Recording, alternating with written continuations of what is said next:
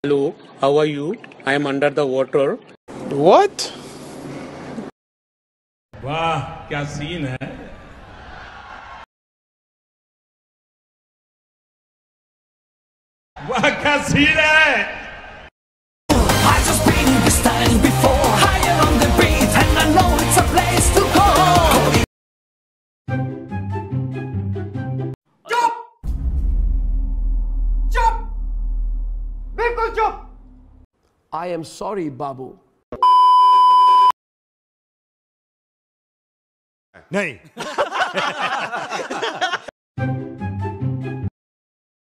Okay.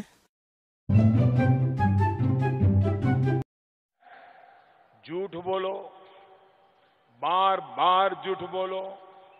जनता को आप मूर्ख समझना बंद कर दीजिए।